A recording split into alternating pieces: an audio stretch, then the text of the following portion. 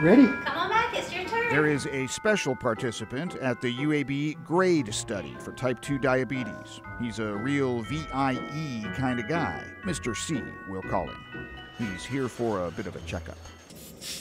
He's got several risk factors that are related to type 2 diabetes. So, for example, he's overweight, um, he has a sedentary lifestyle, and he doesn't necessarily maintain a particularly healthy diet.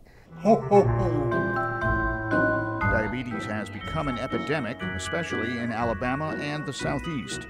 Andrea Cherrington heads up UAB's participation in a national type 2 diabetes study. The GRADE study is a National Institute of Health sponsored trial that is designed to um, try to understand what the best regimen of medications would be for someone with type 2 diabetes. The study is testing four medications in combination with metformin, the primary diabetes drug, to see which combinations work best in which people.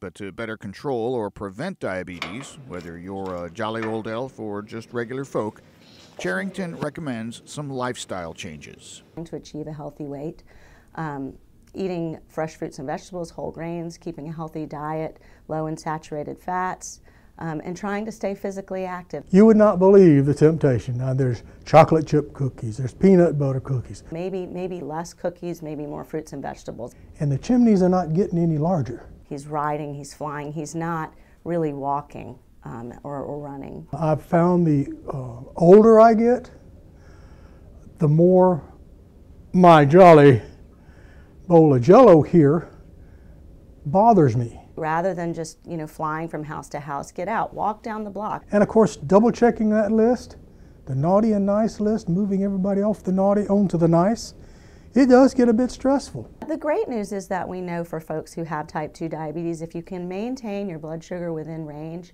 and make some certain behavioral changes, it, it is possible to live a long, healthy life. I, I want to be around quite a bit longer. I got a lot of children still to see.